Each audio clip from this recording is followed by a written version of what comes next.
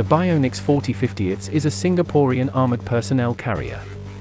It is based on Bionix 25 infantry fighting vehicle and shares the same hull.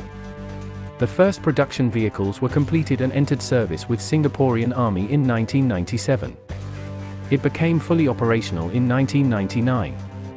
Singaporean Army acquired a total of three 700 Bionix armored vehicles, including Bionix 25 and newer Bionix 2 IFVs, Bionix 4050ths armored personnel carriers and some other support vehicles. The Bionix 4050ths was mainly designed for domestic needs, but was also proposed as a possible replacement for the aging M113 APCs in many markets. Though it received no production orders from abroad, this APC is armed with a 12.7mm machine gun, and a 40mm automatic grenade launcher mounted in a one-man turret. The CIS-40 automatic grenade launcher is belt-fed and has 32 ready-to-use rounds.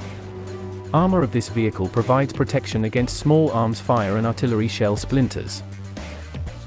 This APC has a crew of two and can carry nine fully equipped soldiers. Troops enter and leave the vehicle via rear ramp. Also there are roof hatches for emergency exit. The Bionix 4050 is powered by the US-made turbocharged diesel engine, developing 475 horsepower. However, this unit has an operating potential up to 550 horsepower.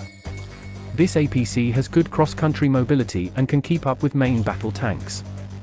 Vehicle is not amphibious, unless a specially developed flotation kit is used.